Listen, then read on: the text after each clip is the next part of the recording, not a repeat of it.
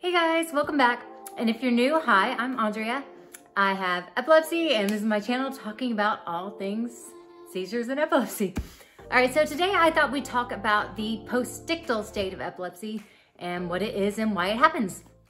All right, so technically it is the final stage of a seizure and uh, today I'm gonna show you a couple of video examples of my postictal stage, which is probably gonna be different from a lot of uh, your postictal or someone you know's postictal phase. It's just my own personal experience.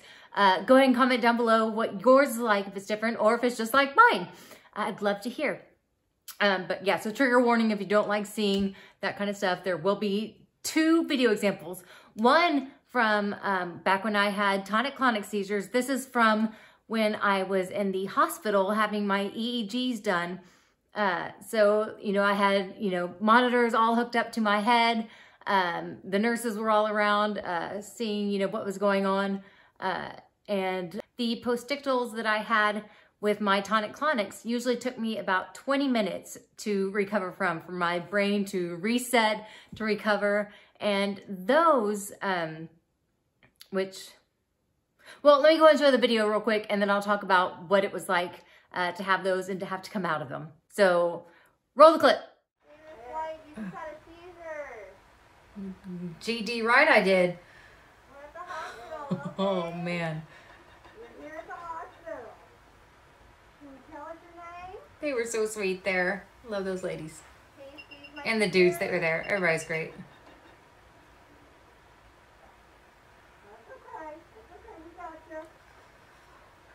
Ooh. I'm still shaking just from saying that. Oh yeah, get those damn wires off my head. I'm done with this study. I will post a later video where I show the brainwave activity recordings along with that. So keep an eye out for that. Hit the post notification bell so when you can see when that comes up. But I, I'm curious to see how black that screen goes with the brainwaves. Oh, reliving that. Okay, I hope y'all can appreciate how uncomfortable that was to see and put that out into the world. So yeah, educational purposes, but ew. Okay, but anyway, anyway, um, so yeah, back with those. Luckily, I've gotten tonic clonics uh, under control with medication. I haven't had one of those in a really long time, well over a year. Um, so let's hope I didn't just jinx myself there. Um, but yeah, with those, I did not remember having those uh, once it was done. Uh, again, took me 20 minutes to come out of it. I was very confused. Had to be told I had just had a seizure. Um, couldn't talk for a while, and I don't remember actually talking to people once I did talk.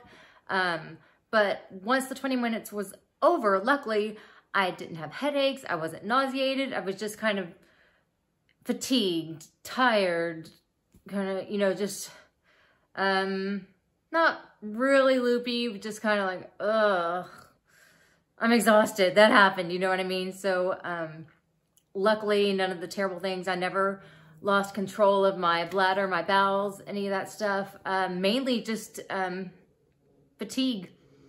So, again, lucky with those. Um, my next seizure, which I'm the kind I'm currently having now, is my focal aware seizures, um, used to be called partials. Um, so I'm going to show you a clip of that real quick and what my um, postictal phase is like having those. Roll clip.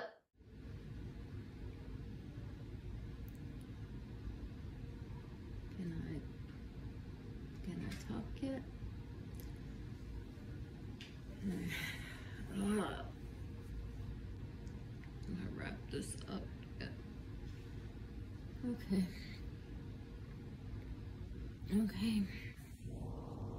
So that's, I'm gonna relax here for a while longer, but that's me having a, I don't know what to call it, a seizure, whatever. Good times. Hopefully we can still figure out what drugs can keep me from having them. As you can see, that is vastly different it is like that coming out of it. Uh, hardly any postictal at all. Um, since I am aware the entire time, I don't go unconscious. I just kind of zone out. Uh, talked about that in a different video. Um, I just kind of, during the seizure, I can't really talk or move very much. Uh, but once the actual seizure is over, I'm kind of like, okay, I'm all right. Now I can talk, now I can move, and done. Uh, again, I was aware the whole time, so once I'm able to talk again, I'm like, okay. Again, just a little bit tired, not near as fatigued as I am from the other one because my body did not convulse, did not have muscle spasms. My brain didn't have to reset really um, because I didn't go unconscious. Uh, so it's just kind of like, huh, I'm a little tired now, but glad that's over. I'm just kind of annoyed that, you know, I had another seizure. I have to reset my, my seizure clock that I had a breakthrough. Um, but again, much easier to uh, recover from those. But here's what the Epilepsy Foundation has to say about the postictal phase and some common signs of it. The final postictal stage occurs after the active part of the seizure. This is the recovery stage, and during this phase, any physical aftereffects of the seizure are felt. The type of seizure and the part of the brain involved will determine how long it takes for a person to return to their usual self. Some common signs of this phase include confusion, lack of consciousness, tiredness, fatigue, exhaustion, headache, loss of bladder or bowel control, fear and anxiety, frustration, shame or embarrassment, thirst, nausea, sore muscles, weakness in parts of the body, injury, head, cuts, broken bones. Once the seizure is over, some people may remember having one, remember parts of it, or not remember at all. All right, so what do you guys think? Do you have similar experiences with it to mine or yours completely different? Um, I'd love to hear about it. Other than that, that is all I have for you guys today. Make sure to like, comment, subscribe, and I will see you next week. Thanks, bye.